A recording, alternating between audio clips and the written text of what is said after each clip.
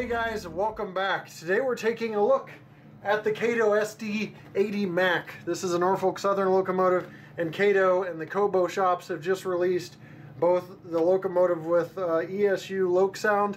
So this is LokSound equipped DCC equipped right out of the box. So we'll take a look at what you get in this Kato SD80MAC at HO scale starting right now.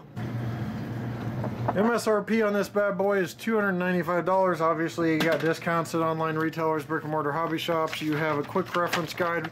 Kato custom quick reference guide showing you functions F0 through F18, different horns that you can put in through CVs. Again, this is ESU LokSound equipped. So we have the locomotive here, pulling out of the box for the first time.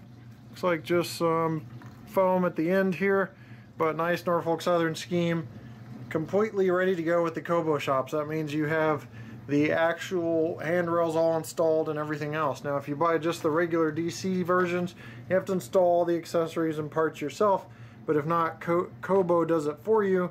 It's really a good deal in terms of um, getting all those parts installed because Kato locomotives do come with the just the DCC you have to install parts and it can be a little meticulous. So let's take a closer look at the detail. Put this locomotive on the turntable so we can take a quick look at some detail.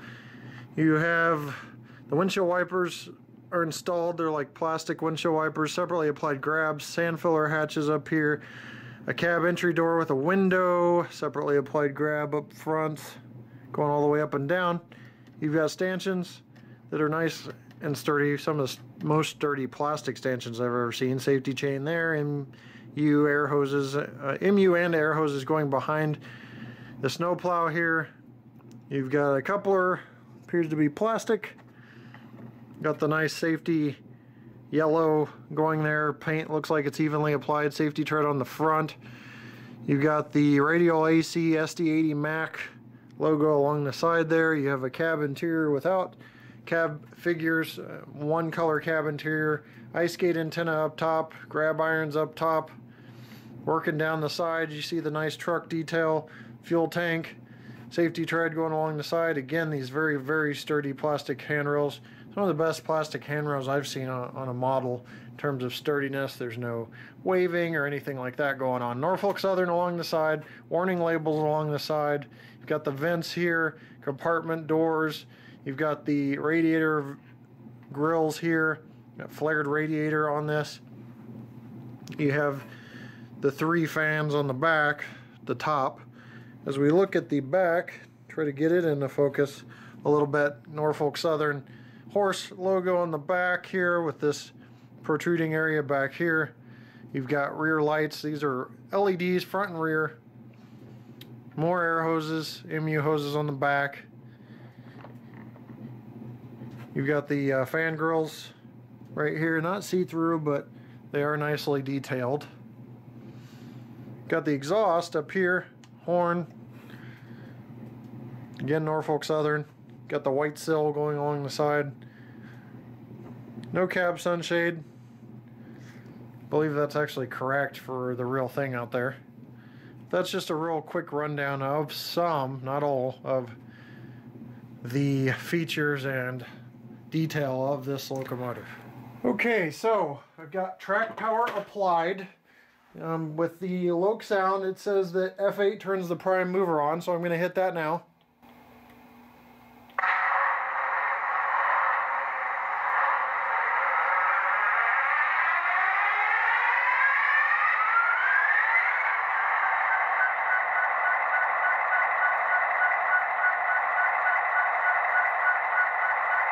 Slightly off the track there. So that is the startup sequence for the F8. Um, another thing that they do with the Kobo shops is they put the cab number in for you a lot of times. So that's why it was a slight delay. I had to check whether it's on on 3 address or the cab number. Listen to some sounds. Bell, F1.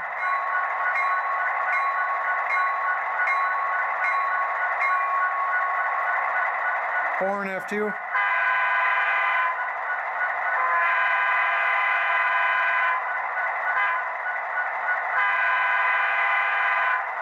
Like I've mentioned on a lot of my ESU reviews, the horn's extremely responsive.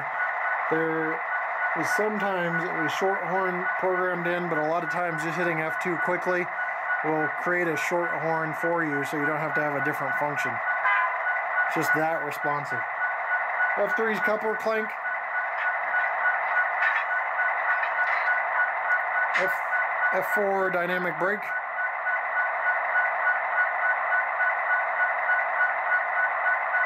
So you got to get it moving to hear the dynamic brake.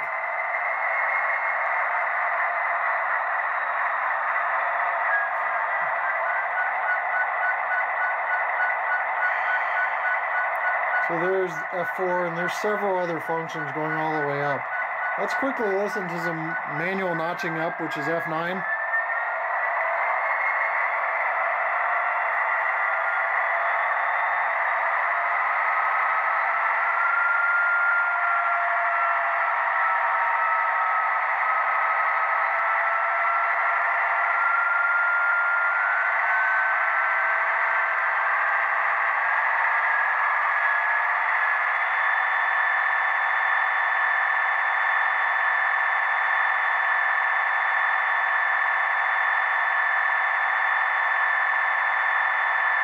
So there you have the manual notching up F9 to notch down is F10. We'll skip over that.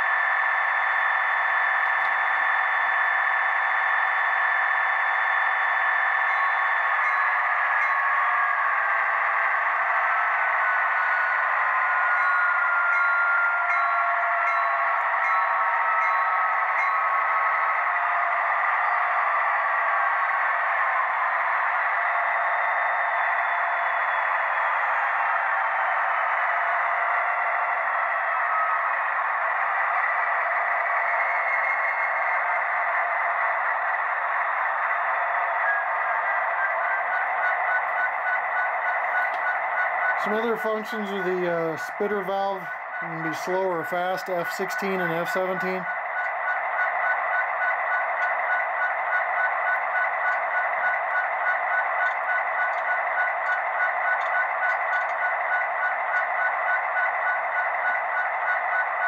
Then of course hitting F8 again will turn all the prime mover sounds off.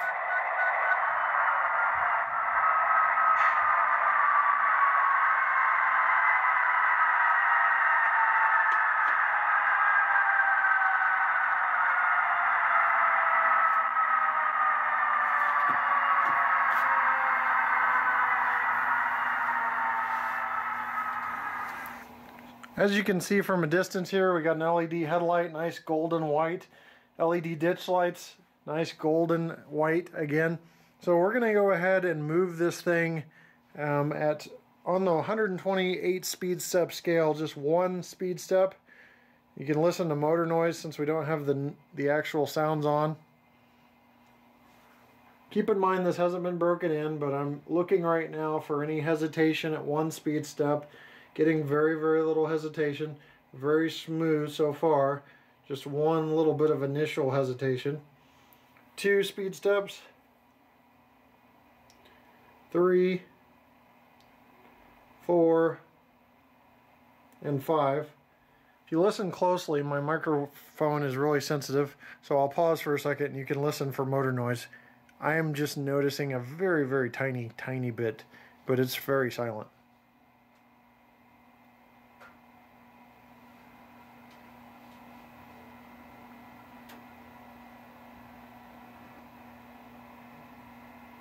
Up to 10 speed steps now.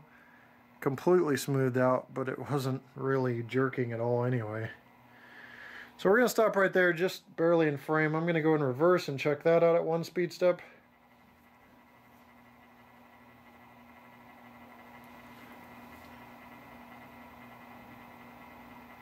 Little bit of hesitation, not much.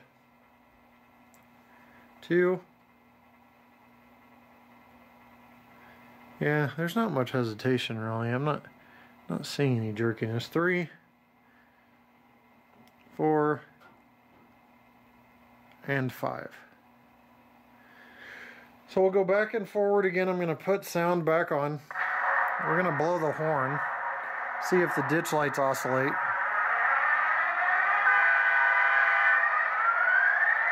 And they're moving.